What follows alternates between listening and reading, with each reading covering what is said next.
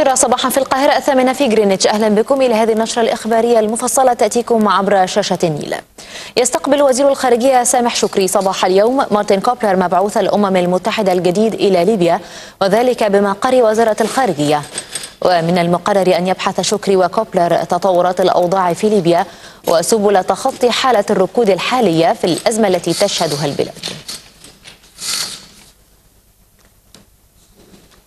تستأنف اليوم السبت محكمة جناية القاهرة المنعقدة بمعهد أمناء الشرطة بطرة محاكمة ستة متهمين في أحداث العنف التي وقعت بمنطقة مصر القديمة في أكتوبر من العام قبل الماضي. وأسندت النيابة للمتهمين اتهامات بالاشتراك في التجمهر مؤلف من أكثر من خمسة أشخاص بغرض تعريض السلم العام للخطر والقتل والشروع في القتل والإتلاف العمدي للممتلكات العامة والخاصة وحيازة أسلحة نارية غير مرخصة والانضمام لجماعة إرهابية. كانت المحكمة قررت تأجيل نظر القضية لسماع شهود الإثبات مع تغريم الشهود مبلغ ألف جنيه لكل منهم لعدم حضورهم الجلسة السابقة. تستأنف محكمة جناية القاهرة اليوم السبت والمنعقدة بمعهد أمناء الشرطة محاكمة 23 متهما بينهم 17 محبوسين في القضية المعروفة إعلاميا بأحداث ماسبيرو ومن المقرر أن تستكمل المحكمة مناقشة شهود الإثبات بجلسة اليوم. كانت النيابة قد أسندت للمتهمين اتهامات بالتجمهر وارتكاب جرائم القتل العمد واستعراض القوة والاعتداء على المنشآت العامة والخاصة والتعدي على المواطنين والتلويح بالعنف على نحو ترتب عليه تكدير السلم العام. وتعود أحداث القضية لشهر أكتوبر من عام 2011 حيث أسفرت مواجهات بين متظاهرين وقوة الجيش إلى سقوط 23 قتيلا في محيط مبنى التلفزيون. تستأنف اليوم محكمة جناية القاهرة المنعقدة بمعهد أمناء الشرطة محاكمة 17 متهما في القضية المعروفة إعلاميا بخالية طلاب حلوان. كانت المحكمة قد أسندت إلى المتهمين تهما تتعلق بتأسيس جماعة إرهابية على خلاف أحكام القانون. الغرض منها إشاعة الفوضى ونشر الأكاذيب ومنع مؤسسات الدولة من أداء أعمالها والإضرار بالوحدة الوطنية والسلام الاجتماعي. تنظر اليوم محكمة جناية القاهرة المنعقدة بمعهد أمناء الشرطة إعادة محاكمة أربعة متهمين. كانت المحكمة قد أصدرت بحقهم حكما بالسجن المؤبد في القضية المعروفة إعلاميا بأحداث الزيتون. كانت المحكمة قد أسندت للمتهمين عدة اتهامات من بينها التجمهر والبلطجة والتلويح بالعنف واستعراض القوة والتظاهر من دون ترخيص وتكدير السلم العام وإتلاف الممتلكات العامة والخاصة.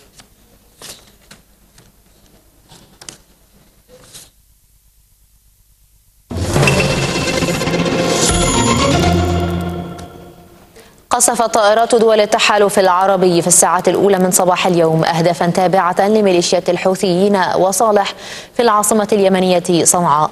وذكر شهود عيان أن الطائرات استهدفت معسكر ضبوعة في معسكر السواد التابع للحرس الجمهوري الموالي للرئيس السابق ومعسكر جبل النهدين بدار الرئاسة جنوب صنعاء. كان عشرات من ميليشيات الحوثي قد قتلوا وأصيبوا خلال قصف مماثل لطيران التحالف على مواقع ومخازن أسلحة تابعة للميليشيات في محافظة الجوف وغربية عزة.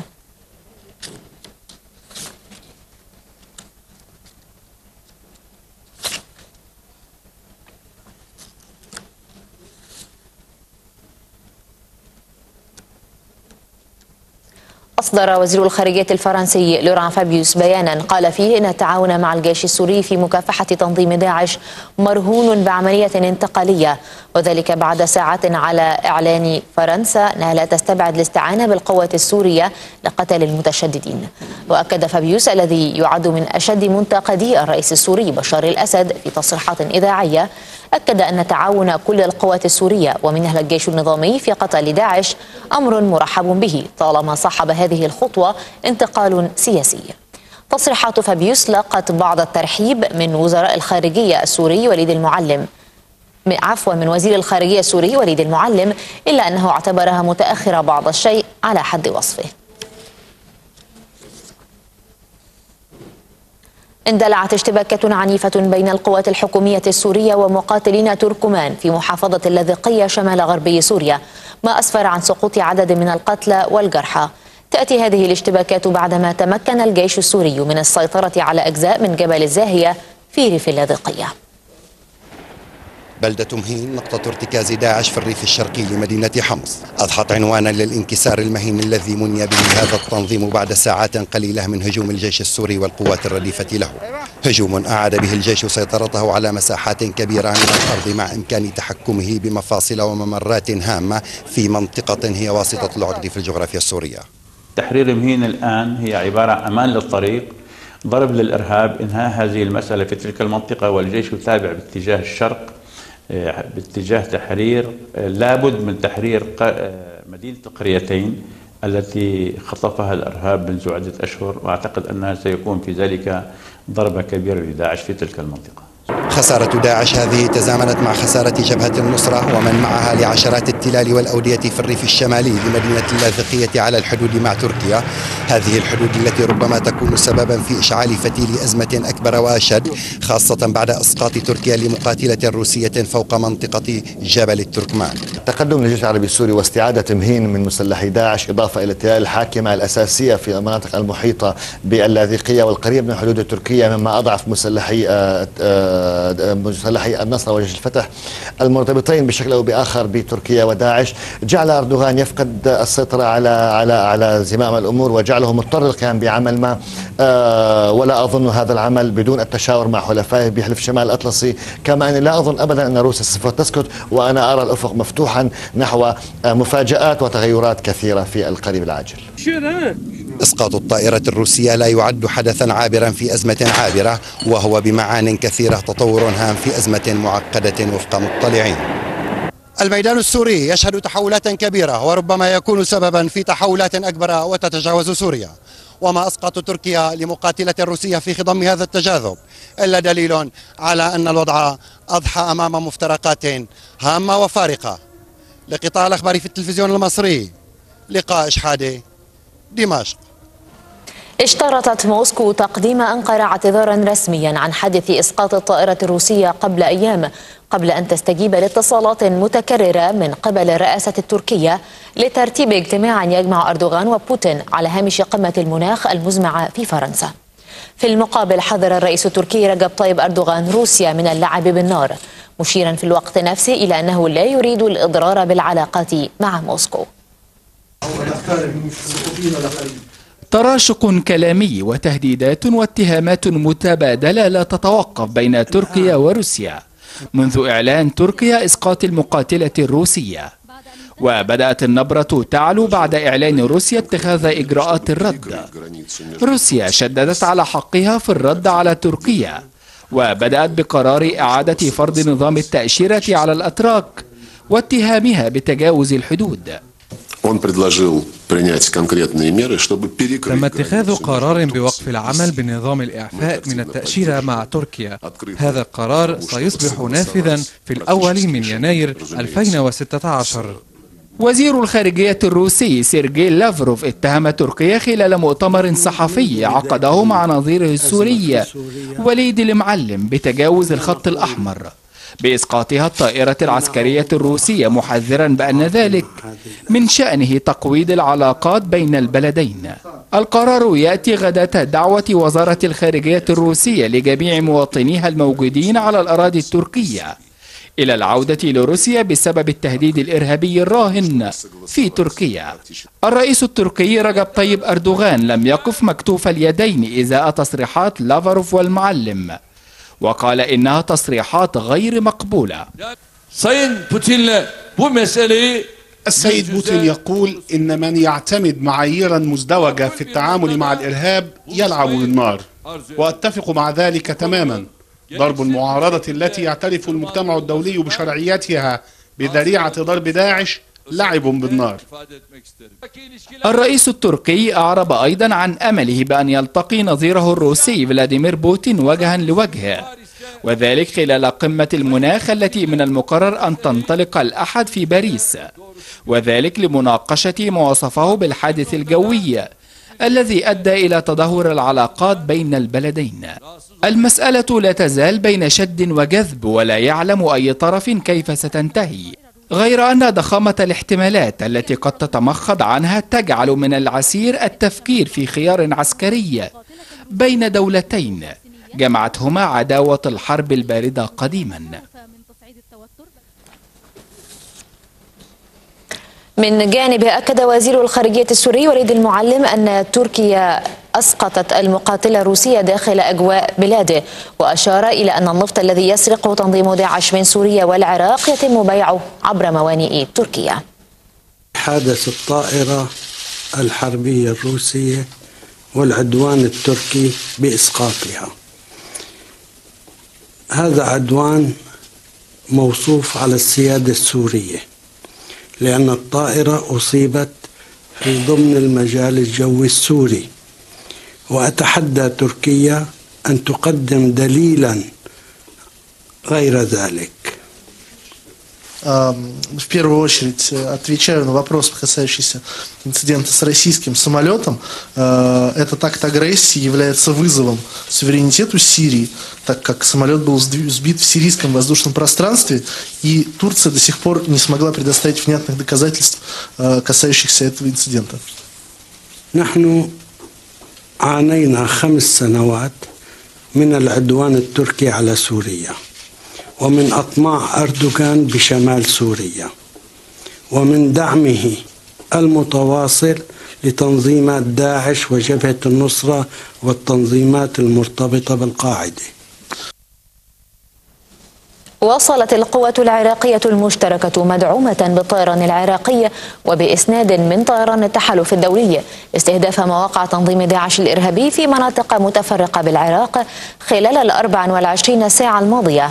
كما نفذ طيران القوة الجوية عشر طلعات دمر خلالها جرافة مدرعة وسيارة بينما نفذ طيران الجيش 42 طلعة على مختلف قواطع إسناد القوة البرية التي تقاتل داعش. قصف جوي مكثف شنته قوات التحالف الدولي الذي تقوده الولايات المتحدة ضد داعش على مواقع وأهداف تابعة للتنظيم الإرهابي في مناطق متفرقة من العراق وذلك بالتزامن مع غارات مكثفة لطيران الجيش العراقي. طائرات التحالف استهدفت بنحو 20 غارة جوية مواقع قتالية ومنصات لإطلاق الصواريخ تابعة لتنظيم داعش في الأنبار وتل عفر بنينوى شمال غربي العراق بالتزامن مع تدمير طيران الجيش العراقي لسيارتين لداعش وأسلحة للتنظيم بمنطقة غربية سامراء شمال العراق. كما نفذ طيران القوة الجوية وطيران الجيش العراقي أكثر من خمسين طلعة جوية وذلك لإسناد القوات البرية التي تقاتل داعش على الأرض. وأحبطت القوات العراقية هجوما لتنظيم داعش على حقول عجيل النفطية شمال تكريت بمحافظة صلاح الدين وقتلت عددا من إرهابي التنظيم. كما صدت قوة تابعة لعمليات الجزيرة والبادية بالجيش العراقي هجوما لداعش على منطقة البوحياة شمالي الرمادي بدورها قصفت المدفعية العراقية التابعة لقيادة عمليات سامراء مستودعا للعتاد والصواريخ لداعش في جزيرة غربية سامراء بمحافظة صلاح الدين. من جانب آخر قال وزير الدفاع العراقي خالد العبيدي إنه سيطلب من رئيس الوزراء حيدر العبادي تسليح قوات الأيزيديين في قضاء سنجار مؤكدا قرب انطلاق معركة تحرير مدينة الموصل مركز محافظة نينوى من سيطرة داعش وتحرير مدينة الرمادي مركز محافظة الأنبار بعد إحكام القوات العراقية طوق الحصار عليها. أكد وزير الخارجية البريطاني فيليب هاموند مساندة لندن لتونس في محاربة الإرهاب ودعم جهودها في إنجاح البرامج والإصلاحات الاقتصادية. جاءت تصريحات هاموند عقب اجتماع في تونس مع الرئيس الباجي قائد السبسي وشدد هاموند على وعي بلاده بحجم التهديدات القادمة إلى تونس من ليبيا مشيرا إلى أن الحل السياسي هو الأمثل للأزمة الليبية. من جانبه أكد وزير الخارجية التونسي الطيب البكوش دعم تونس لمبادرات إيجاد حل سياسي وتشكيل حكومة وحدة وطنية بليبيا. من جانبه أعلن وزير الدولة للأمن في تونس أن كل الهجمات الدامية التي حدثت في بلاده هذا العام تم التخطيط لها في ليبيا مشيرا إلى أن تونس قد تعيد فرض تأشيرة على الليبيين. يأتي هذا بينما قالت وزارة الداخلية التونسية إنها فرضت الإقامة الجبرية على 92 من المتطرفين العائدين من سوريا والعراق وليبيا واعتقلت 40 آخرين. كانت تونس قد كشفت هوية المهاجم الانتحاري الذي نفذ الهجوم على حافلة حرس الرئاسة والذي قال أقاربه وجيرانه إنه اعتقل هذا العام للاشتباه في انتمائه لجماعات متطرفة قبل إطلاق سراحه.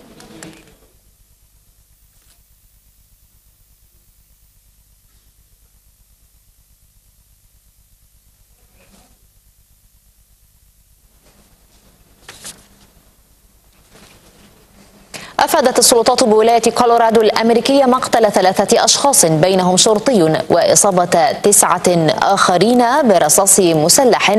أطلق النار داخل عيادة لتنظيم الأسرة في كولورادو غرب الولايات المتحدة الأمريكية. وقال جون ساذرز رئيس بلدية كولورادو سبرينغز إن إطلاق النار أسفر عن 12 جريحا بينهم ثلاثة توفوا متأثرين بجروحهم أحدهم شرطي.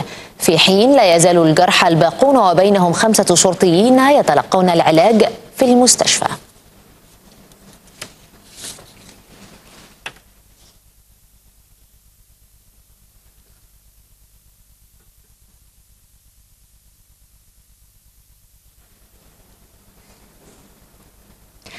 افتتحت في مالطا أعمال قمة دول الكومنولث بمشاركة قادة من 53 دولة تتقدمهم ملكة بريطانيا إليزابيث الثانية وتهيمن على أعمال القمة قضية التغيرات المناخية وتعزيز التعاون بين الدول الأعضاء فضلا عن مكافحة التطرف.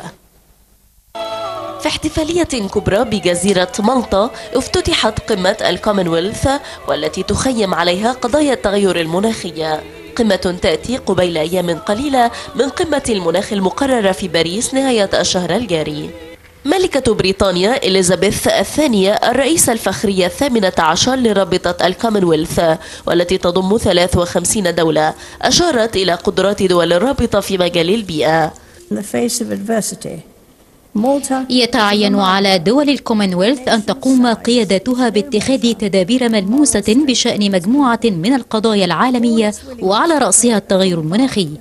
وينص برنامج القمة التي تعقد مرة كل سنتين والتي ستعالج أيضا مسائل الهجرة والتطرف على عقد جلسة تخصص في الواقع لمسألة المناخ على أن يصدر المشاركون في نهايتها بيانا مشتركا.